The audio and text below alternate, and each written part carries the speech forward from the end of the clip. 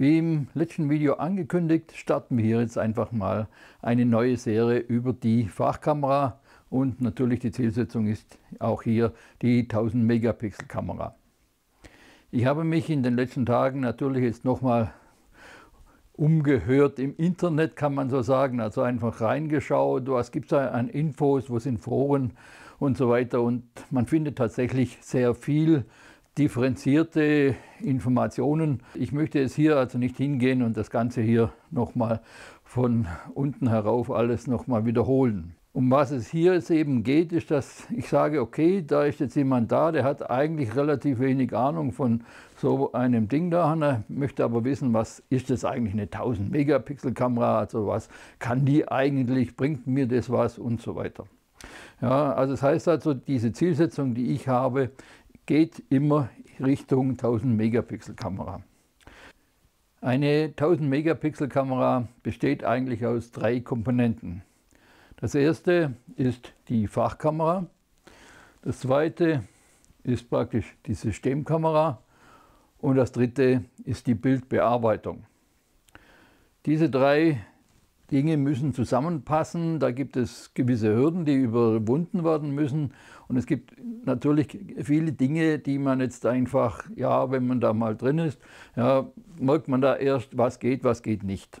Bei der Fachkamera gibt es praktisch verschiedene Bauweisen. Also hier die Fachkamera auf der optischen Bank, aber es gibt auch Laufbodenkameras und auch noch einige Spezialkameras. Das ist dann etwas, was ich im nächsten Video kurz ansprechen möchte. Bei der Systemkamera ist es so, theoretisch können Sie jede Systemkamera verwenden. In der Praxis ist es aber doch eingeschränkt.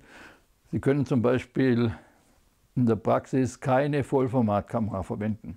Da werde ich dann eben auch darauf eingehen. Und es geht auch darum, wie funktioniert eigentlich eine Systemkamera. Also für die meisten ist das ja ja klar, man druckt halt drauf und gibt es ein Bild und so weiter. Ja, aber wie funktioniert das eigentlich, dass aus einem optischen Bild eine digitale Datei entsteht? Können Sie mir erklären, ja, wie das eigentlich so funktioniert? Was ist jetzt der Unterschied zwischen 8 und 16 Bit ja, und äh, zwischen 100 ISO und 1000 ISO? Ja, und wie kann das funktionieren, dass man mit einem Sensor, der ja nur Helligkeitswerte unterscheiden kann, dass man da ein farbiges Bild macht?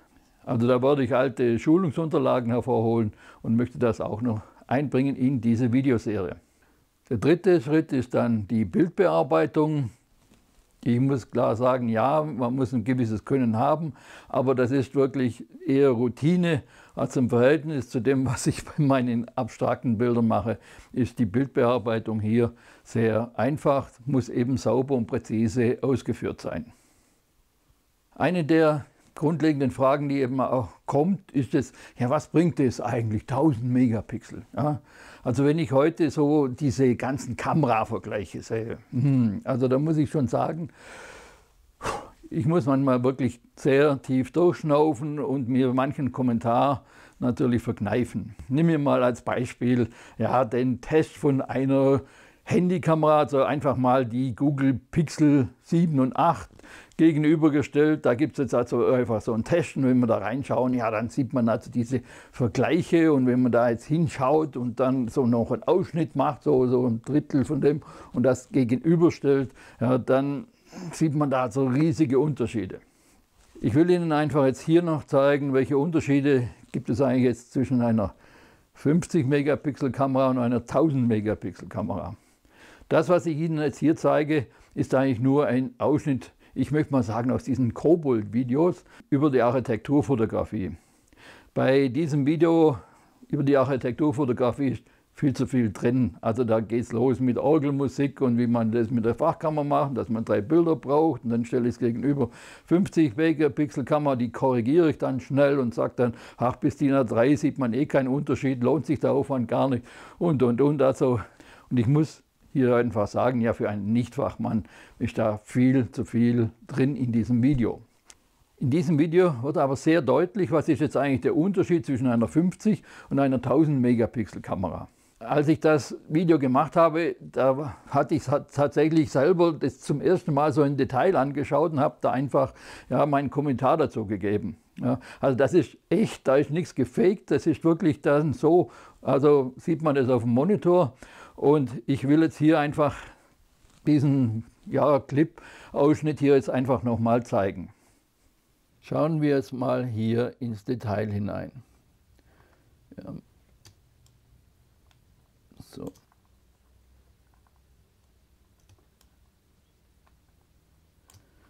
Ja, bis zu dieser Bildgröße ist es so, dass Sie jetzt hier zumindest auf dem Video noch nicht so riesige Unterschiede feststellen können.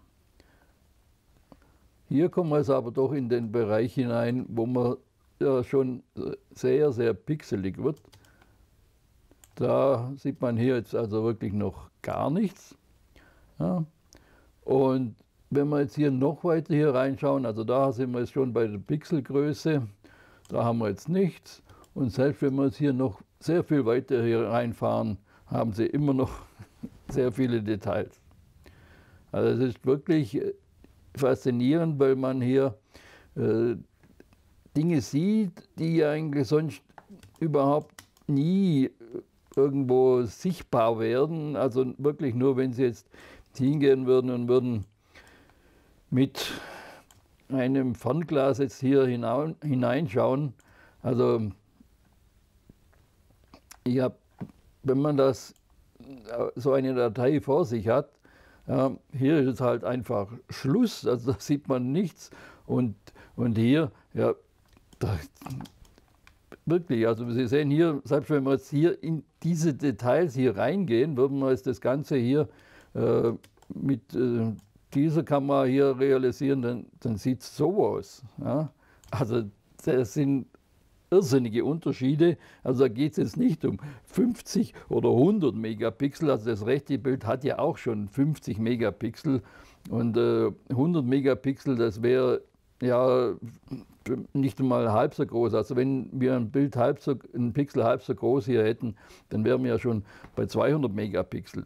Also hier ist es so, wenn es um solche Anwendungen geht, wo man wirklich jetzt ins Detail reinschauen kann, da haben wir hier Reserven, die sind absolut crazy. anders, äh, anders kann ich es also wirklich hier überhaupt nicht sagen. Also als ich diese Bilder hier ausgearbeitet hatte, also es ist so, dass man sagen muss, wow, ja, also das ist, da, da sieht man die kleinsten Details hier. Ja. Wobei hier ist ja, ja ist nichts mehr hier, da, da geht nichts mehr. Ja. Also, das sind Unterschiede, die sind wirklich ein bisschen anders, möchte ich sagen, wie das, was wir jetzt also zwischen Google Pixel 7 und Google Pixel 8 ja, einfach groß verkaufen. Ja, also das sind wirklich Welten dazwischen. Also wenn Sie das sehen, das ist das Gesamtbild und das hier ist der Ausschnitt und dieser Ausschnitt hat immer noch diese Qualität. Um das geht es. Ja, es geht also nicht um eine kleine Bildverbesserung zwischen 24 und 36 Megapixel, sondern es geht um, wirklich um eine komplett neue gestalterische Welt. Und da ergeben sich dann auch viele neue Möglichkeiten daraus.